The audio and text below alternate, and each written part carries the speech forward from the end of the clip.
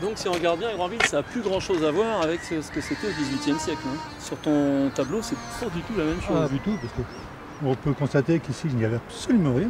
Il n'y a pas de maison. Pas une seule maison. C'était un autre temps, une période troublée de l'histoire de France. Imaginez-vous à Granville, dans le Sud-Manche, à l'heure de la Révolution française et des guerres de Vendée. On est dans le quartier Saint-Paul, mais à l'époque, ça s'appelait le quartier de la Houle. C'était un, un faubourg assez éloigné de Grandville déjà, parce qu'il n'y avait que quelques maisons de pêcheurs à, à cette époque-là, c'est tout. Ce qui est dur de, de se représenter, c'est que finalement, toute cette grande partie de la ville qu'on connaît aujourd'hui n'existe pas. On est euh, dans une zone marécageuse euh, où finalement euh, serpente euh, comment, le bosque et euh, passe un petit pont et c'est ça- c'est à peu près tout. hein. Euh, On est sur une zone qui n'est pas aussi urbanisée qu'aujourd'hui. Saint-Paul, face à la mer et sa vue imprenable sur le rocher. C'est ce que découvre le 14 novembre 1793 Henri de la Roche-Jacquelin, à la tête de l'armée catholique vendéenne et des Chouans venus assiéger la cité grandvillaise. Après avoir franchi la Loire en octobre et conquis plusieurs villes sur leur passage, les Vendéens veulent s'emparer de ce port de la Manche afin de renverser la République avec l'appui de l'Angleterre royaliste. La perfide Albion, à portée de navire, juste en face, à Jersey. Vont arriver entre 20 et 25 000 Vendéens. Euh, tous ne sont pas pleinement opérationnels non plus. Il y a euh, également des malades, il y a des familles, il y a des gens âgés. Euh, c'est une armée un peu hétéroclite, donc on a un peu des soldats plus une partie de la population en exode qui, qui suit. quoi. Éreintés par leur précédente campagne militaire, ces redoutables combattants vont donc tenter entre le 14 et le 15 novembre 1793 de prendre d'assaut une garnison défendue par 5500 soldats, dont un tiers n'est pas armé.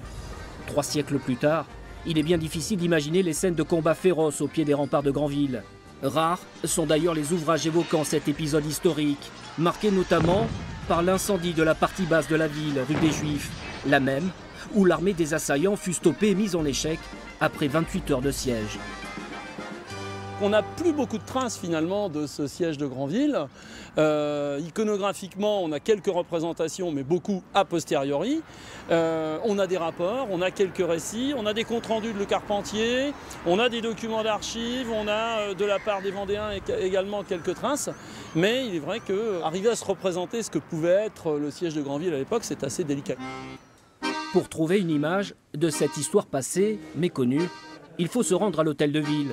Accroché à un mur de la salle du conseil, le tableau peint en 1909 par Maurice Orange glorifie un épisode allégorique du siège de Granville avec ses vainqueurs, des maisons, le carpentier et le peuple grandvillais qui ont ainsi triomphé des ennemis de la République.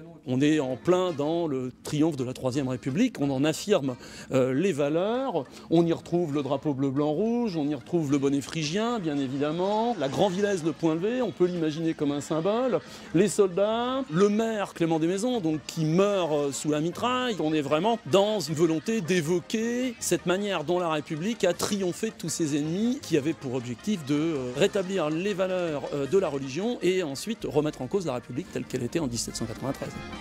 Des ruines, du sang et de la terreur.